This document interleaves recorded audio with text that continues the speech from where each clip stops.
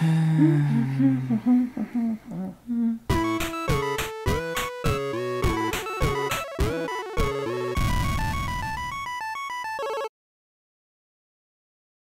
the last thing we did on our trip to Florida, actually on the way back, was we went to the Space and Rocket Center in Huntsville, Alabama. And it was also the second Saturn V rocket we saw in a week. That was even cooler.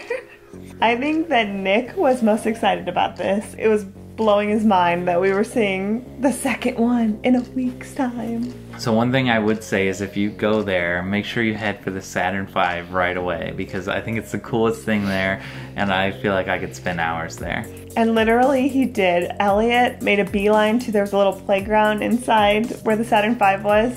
And Elliott and I just sat over there and he played and I watched him and Nick went around to like every single little plaque and like exhibit and looked at everything. Yeah.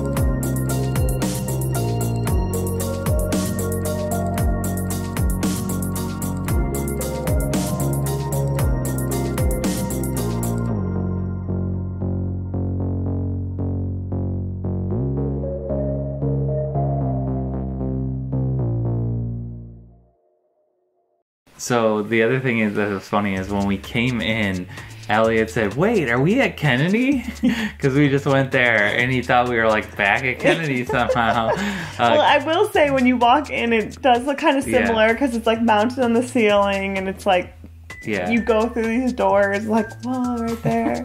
but it was so funny. He's like, wait, are we at Kennedy? So the one thing that I like about uh, the Space and Rocket Center as opposed to Kennedy was at least when we went, there was way less crowds. Yeah. So you could like just kind of walk around the Saturn V and just like soak it up. You could just take, Take your in every single plaque yeah, that they you could had. take in every little plaque and everything. But I mean, you could see everything and kind of relax and like Yes. you didn't feel rushed or anything like that. Yeah, it, it did seem like they had a lot more little exhibits and little different parts and things around Yeah. the Saturn V. Like it was a lot fuller in there, whereas at Kennedy it was kind of more um, like less things. Yeah, it they- was the focus there was like the Saturn V.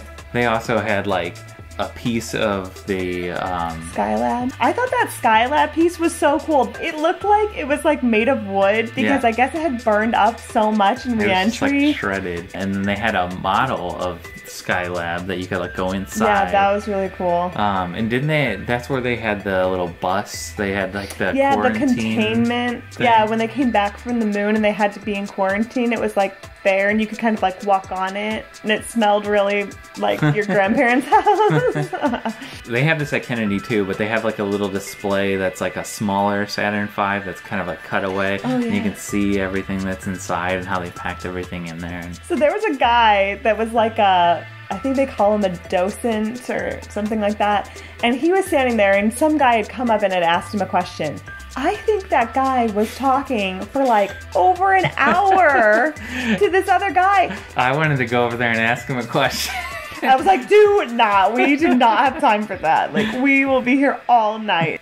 And I think they also have one of the coolest displays of an Apollo capsule. It's behind glass, but like you can walk all the way around it, whereas like at Kennedy you can only kind of stay in front of it. But it was awesome that you could walk to the back and you could like kind of get close to it because there was glass, so you could see it like closer up. You could see every single inch of it. Another thing they had, like, right above that, which they displayed it in a really unique way, was they had the parachutes that they used when they came back down from space, and they had it displayed, like, above the command module, looking like when it was coming down. So it was really cool to like see it just not just sitting there, but like fully out and up. It was really cool. And that's not the only Saturn V that they have there. They also have one outside that's standing up. That one's not like real or anything. It's more of like a fake one. But it's cool to see it like as it was, like standing up, and so you can really get a sense of how big it is. Yeah, while we were there, they were painting it, so it was really cool because you they were spiffing everything up for the um, 50th anniversary of the Apollo moon landing. So it's kind of cool. We got to like watch them kind of transform it while we were there, Yeah.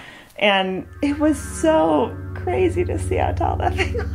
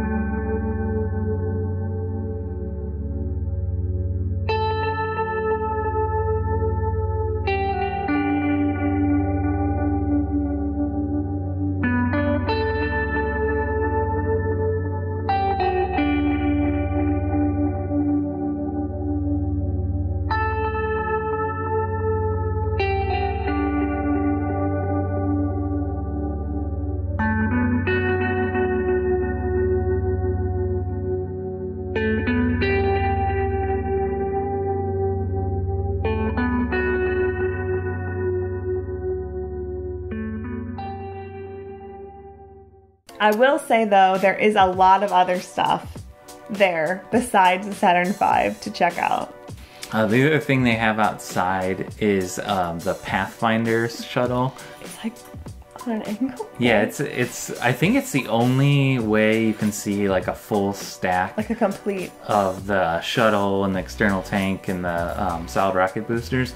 It, it's not a real shuttle. It's the the Pathfinder was like the um, like mock-up that they use to test a lot of things like the cranes and stuff like that. But they've taken it and kind of enhanced it a little bit to make it look a little bit more like a real space shuttle. So it looks like a real space shuttle sitting on top of the boosters and everything.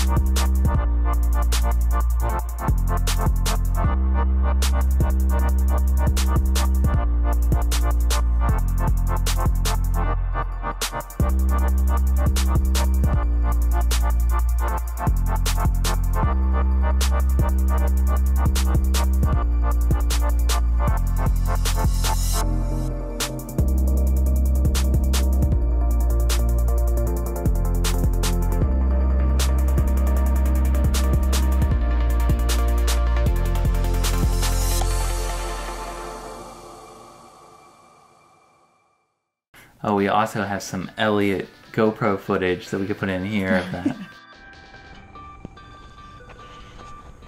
Look at this airplane.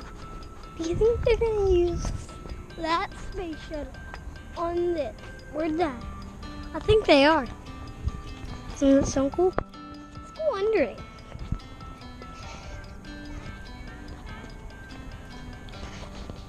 Hmm, let's see it. Massive.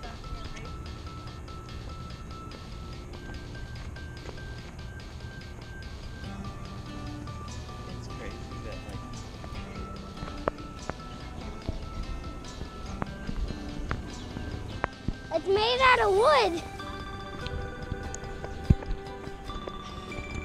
Why is this made out of wood? So inside they had an Apollo display, and I think that was kind of set up for the 50th anniversary. And they had like a lot of little smaller Oh, yeah. artifacts and things like that. They had like a TV and it was like showing footage like what people would see as they were like walking by a window display and they kind of were highlighting like the Russian versus the United mm-hmm. States that was going on at the time which I didn't really think about when we have been to other places but like they showed like the Russian rockets and then like the American rockets and they had them in like chronological order they had all these little models and it was really cool let me tell you though the American ones way cooler design. Yeah, they look cool.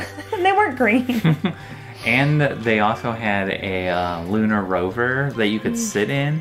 Uh, it was like a. That was- full size one, and that was that was awesome to see because you could really like see how the wheels were made and all that kind of stuff, and How like um, the switches were really big, so that Yeah. like you could push the buttons and with switch gloves and stuff. in the gloves. Yeah, Elliott really liked that. He was like pushing. He wanted to push like every single button on there. We're like, come on, let the other kids have a chance. And they also had one little area where it had a bunch of screens around you, and you could sit down on a bench, and it went through like the launch, so you could kind of like see the Saturn V taking off. And then they also had a display of Wernher von Braun. I don't know how to say it, but it- they had his desk in there, um, and he's like one of the um, scientists that created the Saturn V.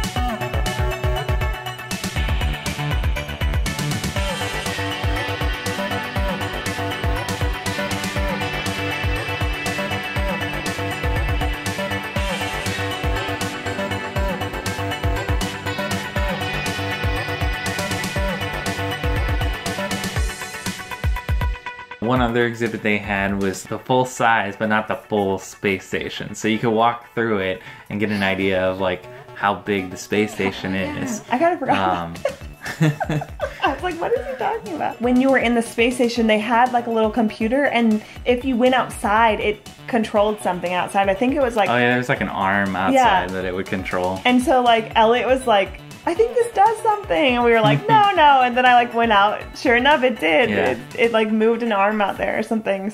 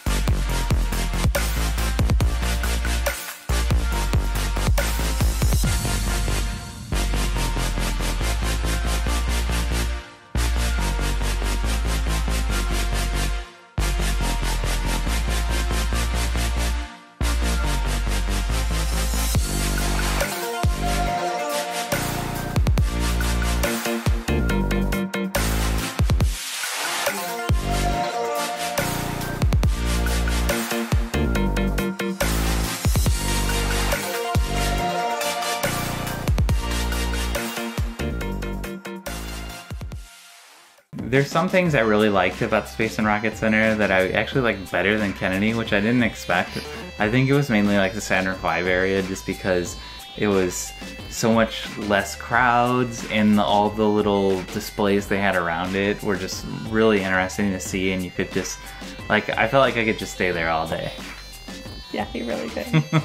I really liked that they had they had an outdoor playground and they had an indoor playground by the Saturn V, which I thought was really great for small kids because Elliott, even though he's six, he really doesn't want to go walking around and reading every single plaque. So that was really nice for us to be able to like have a place for him to play and we could still also get to look at all the plaques and have fun and see the stuff we wanted Yeah. to see. It was just all around I think it was a really interesting place to go and I think we'll probably go back eventually. Definitely go check it out and let us know what you thought about the Saturn V. Rocket launch high five. Okay, ready? Three, two, one.